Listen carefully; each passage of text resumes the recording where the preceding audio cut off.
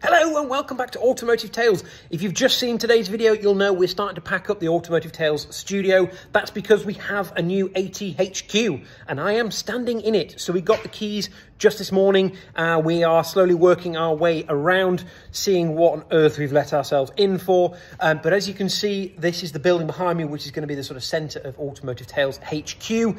Uh, unfortunately, there's no lights, so it's a little bit dark, but you can sort of see there's a bay over here, which is hopefully going to have storage lifts. There's another bay behind me here, which is also going to hopefully have storage lifts.